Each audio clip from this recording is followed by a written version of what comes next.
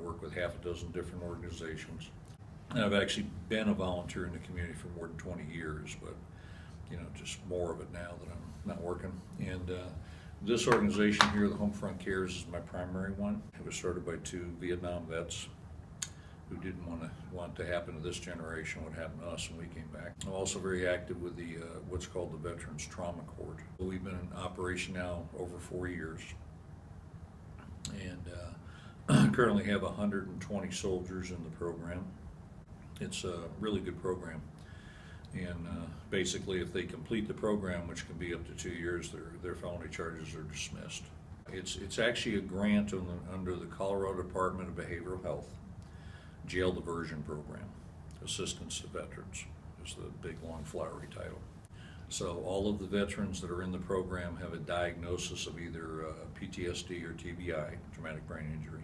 You know, certain offenses we can't deal with, but most of the felonies we can. Certain offenses, like if there's sexual assault on a child or something, because we're not really equipped to deal with that. But it's an excellent program, and um, we've had uh, a num, you know, like five or six dozen that have graduated so far. And the recidivism rate for those who completed the program is zero, which is huge, it's unheard of. Another one I've been active with for about fifteen years is the, uh, the El Paso County Homeless Veterans Coalition. What we do is we put on the, uh, annual stand down for the veterans here every year at the city auditorium. And this year we had our highest number of attendees, we had hundred and ninety-six. And uh, 14 of those were females. One of them had five children. Um, Sentinels of Freedom is another excellent program that we've had. It's a scholarship program for soldiers with severe physical injuries. And we cover their housing and, you know, all their incidentals so they can go to school full-time. We had uh, a local chapter here for several years. They brought everything up to the national headquarters now as far as administration, but we put a, a half a dozen soldiers through that. That's a very expensive program to do because the commitment can be, you know, fifty thousand dollars or more easily for each soldier. What we do here at the Homefront Cares is emergency financial assistance for active duty and veterans. Um, We work with their um, landlords, their loan companies, whatever. Uh, They present their bills to us and we'll actually pay the vendor directly. We've raised over six million dollars and it's all privately uh, foundations, corporations, and individuals. We don't take any federal money or state money. You know, we, we take them out of society whole. Too often we put them back broken. And they just need some help. They do. They just need some assistance. They're not looking for a handout, they're looking for a hand up, just to get them over the hump. I'm a, a Vietnam vet, and um, I remember how badly we were treated, you know, in those years, and we just don't want it to happen in this generation. And what's great is that the country, for the most part, you know, even though we're war weary and all that, they haven't taken it out on the veterans. You know, they really haven't. You know, the veterans are still held in, you know, esteem and treated well and and things like that. And that's that's such a huge change from what it used to be. So it's well worth it. You know, the uh, the veterans that uh, you know I got out after the war too, as did many others.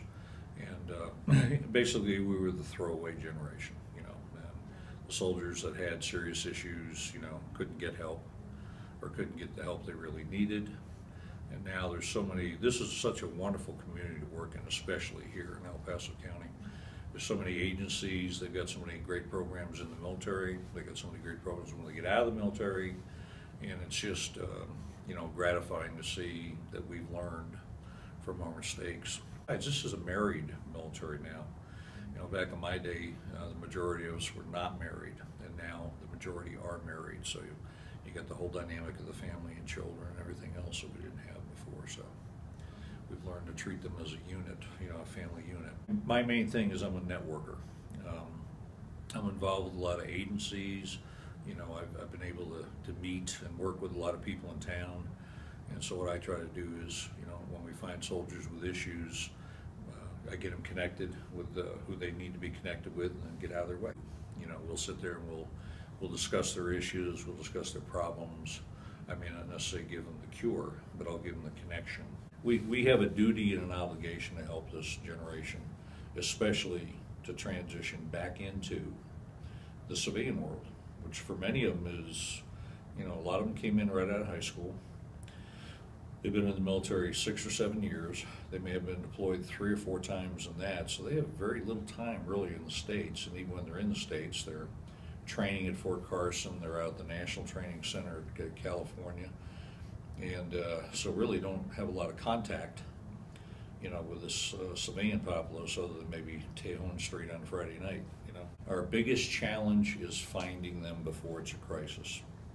So uh, when they first get out of the service, they tend to want to take a little time off.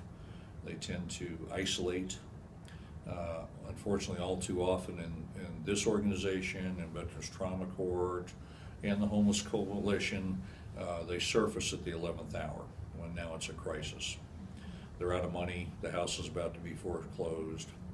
We get calls on Friday afternoon, it's, hey, they're shutting the utilities off tomorrow morning and it's February and I got two kids and the husband's deployed. Another organization I serve with, I'm on the board for the Pikes Peak Suicide Prevention here. And we have special veterans programs and things like that.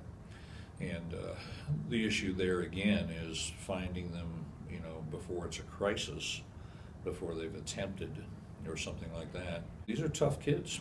They're um, used to taking care of themselves and taking care of other people. And uh, for them to ask to help, uh, things normally have to get pretty bad before they'll do it. So a lot of times when we see them, they're two or three months behind the mortgage, and they're they've you know they're very seriously you know considering suicide or you know just all these issues. And so quite often already a crisis we don't deal with, it. but that's okay because that's what we're set up for. The problem is if we don't help them now, and if they have serious issues like PTSD or TBI, they will re-enter the system at one point or another. Or normally through the backseat of a police car or the emergency room at the hospital. So our job is to find them, you know, hopefully well before that and try to prevent that. It keeps me busy, it does.